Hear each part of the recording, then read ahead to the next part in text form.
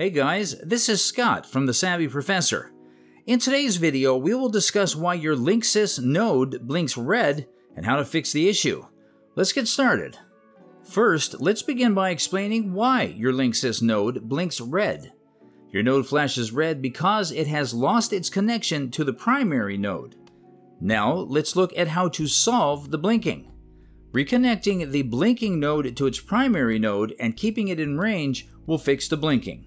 To do this, boot the blinking node to its factory state. It will display a solid purple light once fully booted. Connect your mobile to the Linksys Mesh Wi-Fi network, log into your Linksys app, and tap the menu icon in the top left corner. Tap Set up a new product, then select Add another node to XXX, where XXX is your Wi-Fi's name. Select To extend my Wi-Fi with a new child node when prompted for a reason to add a new node. Turn your phone's Bluetooth on when prompted and tap Next on the following page, prompting you to plug the node into a power supply near the router.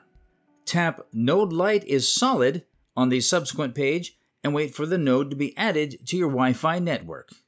Thanks for watching.